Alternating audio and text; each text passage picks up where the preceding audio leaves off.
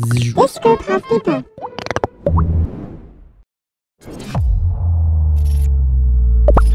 觉得这群人对你来说是什么？我觉得这群人对我来说是第二个家，像家人吧。可以并肩作战的那种家人，归属、安全感。工作、欢笑还有泪水。一开始把它当工作，久而久之像是家人。就大家就是我们啊，我们这群人，我们追求梦想的一个指标。那你觉得成为这群人是一件开心的事情吗？是非常非常开心。在我从来没有后悔过做这件事。有的时候会很开心，有的时候会很不开心。当然是非常开心的，非常非常非常开心。当然一定是很开心，觉得这群人就像我们的小孩，我们没有想到我们的小孩被大众喜欢跟接受，而且人家觉得我们的小孩带给社会极大的正能量。最开心的事情啊，很难可以找到真的真的是一起工作的好朋友。非常的幸运，加入这群人是让我改变蛮多，要为自己发声，这是这群人教我的。那这十年来有曾经遇过什么辛苦的时候吗？沟通跟磨合，这个一定是在前面最辛苦的。那个辛苦的层面已经不完全是工作状态上，是一个心灵跟工作状态上，跟你想要完美的这种很错综复杂的感觉。辛苦死了。没有啦，我觉得是过程。现在回想起来，觉得哦，原来我曾经那么勇敢。因为我被分配到是美术这个工作嘛，辛苦嘛，其实也没有说到非常辛苦，因为董仔总是呃，他每次会问我说，哎，你有没有什么要帮忙，我可以帮你。董仔他那一句说要不要帮忙，或者是留下来陪我，那其实就是一种呃很温暖的陪伴跟鼓励。这样，那你有曾经觉得这些年来有做过对不起团员的一件事情？就应该是 拍《这是我》的时候，不小心误删了档案，很难想象，对不对？这是我一个 MV，大概两百万的 MV，就这样被我 delete 掉了，没有备份。我那时候心里想什么，知道吗？前面有一个窗户打开的，我想说我跳下去是好了，我怎么可以这么对不起大家？我蛮想跟全部的团员道歉，因为我曾经都很严厉的对待他们每个人，然后也讲了很多讲了也不会有帮助的话。如果我们要求别人要成为我们的时候，那还需要我们干嘛？所以我还蛮感谢这十年来的这个平衡，我觉得这个平衡一直很完美，所以我就一定要进步，就这样。您听过公司有面临过倒闭的？因为我自己不管做什么事，我都会设想说最惨的状况。就是因为展荣他是想要做超虾翻唱，然后弄完之后就支出了一个很庞大的金额，造成了一种我们的花费在那一个阶段急速增加。那个时候也没有想说要欠外面人的钱，所以就啪出去玩之后，然后下个月就发现哎。公司没有钱了，就周转不灵，我们就说，哎，我们公司好像要倒了，就会有个状况，就是交不出员工薪水，交不出房租，付不出款项的一个状况。大致上是这样啊，反正就是拍了超虾翻唱之后，然后就倒闭了。然后因为也没有商案进来，我那时候接案就遇到一个很大的问题，因为那时候其实 YouTube 还没有这么的稳定，谈字录也不是，然后你要做一个广告，可能又会被骂，那我们就卡在一个自己的圈圈里。我自己比较乐观，我就会觉得，反正我们钱在赚就有了，我们就是想办法把钱赚回来。表现必须挣多点钱，付出才会有得到。错误里面又去学习了一个新的事情。当下是蛮乐观面对的。我觉得群人很骄傲的地方是我们打破所有很多先例，觉得这件事情我们感到很骄傲，我们创造了很多不可能。你有最印象深刻的负评、负面的新闻，有真的让你觉得走心或者是很印象深刻？一定是对于自己啊，其实我觉得就跟我写那个短片一模一样的意思。应该说，资讯媒体这个年代，我们第一次走 YouTube 这个职业，所以我们拍的每一个影片都要赤裸裸的被观众摊在面前，用留言来讲。有一次的批评是。呃，我记得是私生活的气话，有一个人他就说，我不懂石头凭什么在这群人里面。公司希望我们把作品做好，那作品会说话，我们有时候不用太跟别人解释。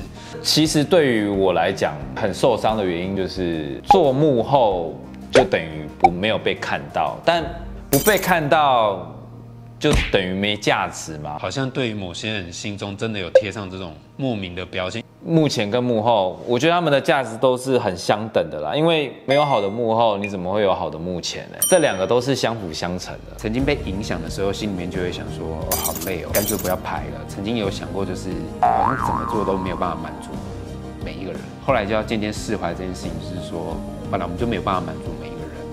对啊，这群人是不是有曾经闹不和，或者是有解散危机？真的假的？有这件事哦、为什么没有感觉？真的是会拍到养老院，每一次都会有一个阶段会想说，哎，要不要大家先休息一下？大家在找出自己可以再往前的路，但是我们还是一起的。我觉得我们团队就是这样，大家互相体谅，不被这些外在的言语所影响。那你们有一个群组，然后只有你们七个人，然后叫做暗黑这群人。会有一个暗黑什么什么什么，那这个等于说就是是我们在那边传当你们男生的低潮用了，有时候会讲一些坏话啊，然后如果新闻写一些我们不实的那种很不好听的，我们就在里面骂，就是取暖的地方。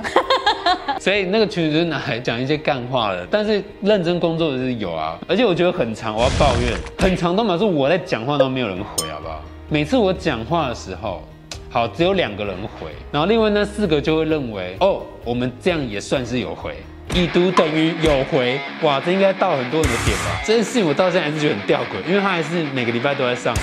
你最常离开那个群组？哎、好像真的是我跟你真的两次的记录，应该没有人这样了。他是我们群组里面哈离开最多次的一位，然后被加回来的最多次的一位。公司刚开好像讲到一些经济方面的问题，然后我跟展瑞就是一言不合，然后你一句我一句，然后开始上，然后情绪来了，讲话都不好听，然后就被尼克给一个一个退出群组，然后我讲到一半，我被退出群组，我那样嗯，退出群组怎么了？我要加回去，我要加回去，我要继续讲，然后就是加不回去。有一次好像是展荣，有一次是尼克，那他们会去帮我们去沟通，然后会去听我们的意见。想一想，也只是大家都是为了东西好，我们没有一个人是为了自己好。鼓励大家，如果是个团队的话，只有你身边的人才会告诉你的缺点在哪，只有爱你的人才会告诉你说你应该检讨哪里，不然你出去会死得很惨。你要珍惜会告诉你这些事情的朋友。还要跟展龙讲一段话。呃，展龙就加油，还有很长的一段时间要一起共事，在这个共同共事的一个时间内，双方我们都要保持当初的那个初心，不要忘记对创作的热情，不要被自己的框架所捆绑住。有时候我们放开这一切，丢开这些框架，我们会产出更优质的内容。我觉得展荣很辛苦，因为一开始都是他自己做，然后他可能有很多的压力，但他不会跟我们说。像我从来不知道他有忧郁症过，是后来聊天的时候他才有开玩笑的说。然后我真的要对展荣说，你辛苦了。我也知道你有的时候你自己的压力很大，然后你又要顾我们的想法，你要顾你自己的想法。有时候你自己想做的事，你不一定都有去做到。所以谢谢展龙，没有，因为其实没有展龙，就真的没有这群人。总之，我觉得展龙是一个非常棒的男生、男孩、团长、伙伴、朋友。我好像没有跟他讲过吧，因为我觉得我没有得到展龙的认可，就不是吧。即使大家都说很棒，我都觉得那只是大家所看到，因为我希望我的棒是展龙可以亲口跟我说。然后我记得有一次，好像场景布置完，然后那时候展龙就坐在沙发旁边，他就不经意的说出说：“哎、你这场景真是用的还不错哎。”当下我的心哦，开心到不行。其实他的每一句话都牵动的我，包含现在不管做什么事，只要他的一句话。我都会使命达成。虽然我们相遇 很晚，但是我们还是一起坚持到这边到现在。然后谢谢你永远不嫌弃我的笨，然后也谢谢你的那一次称赞，真的是开启我的另外一条路。因为我以为我不行，但是是你让我看见我不同的可能性。其实我一直以来我都没有把他当团长，都一直把他当成一个是我很敬重的哥哥。虽然纷争难免会有，但是有的时候我也想跟他讲说他辛苦了，因为他一直以来都很压抑。说真的，他不像我那么做。他自己有跟我坦诚过说，他好像有些时候比较硬，但我觉得他会硬是因为他有一个大哥的包袱。印象中有一次我们去一个酒吧喝酒，然后他就突然间说：“我觉得我最近不知道怎么了。”我想要跟大家说我有这样的一个状态。然后其实当下我就直接觉得说，很开心你讲出来了，你愿意讲出来，你愿意在我们面前坦诚你自己。后来团员们也理解他的压力之后，又更能够去体谅他身为一个团长。张荣，你辛苦了，谢谢你体谅我，就是常常这么任性。一直觉得他未来是一个会成就某些东西的成功人士。他是一个团长，他背负责任很重，所以他那一阵子得忧郁症，我也觉得说啊，他不善于像我一样。我可能很常讲出自己心里的话，但是他让人他让人比较心疼的是，我觉得他比较就是我我会比较心疼不不善于讲出自己心里想法的人。然后后来我就知道说，哎，原来他背负的压力其实蛮大的，然后就会觉得，嗯，要他坐到他那个位置其实很不容易。很感谢他没有放弃过我，在我很不懂事的时候，一直提点我，然后给我力量，这样子。那其实这群人前面他一直很辛苦的，一直一个人撑下来。然后我们，我其实就与我现在十年后的这个角色啊，我在前四年的时候，我应该要去分担他的工作，但我没有，太笨了。我那时候太太太不懂事，我就帮他一个人，然后搞得快忧郁症，他就。快不行了，这样他就一个人剪片，然后用社群上片，然后一个人想脚本，然后有的没的。我一直没有机会跟他讲说，展龙真的辛苦你了，我真的很谢谢你带领的我们，带领的这群人到现在，未来还是群人不能没有你。我自己是怀抱了一个很感恩的心在面对他，这是我想要跟展龙讲的话。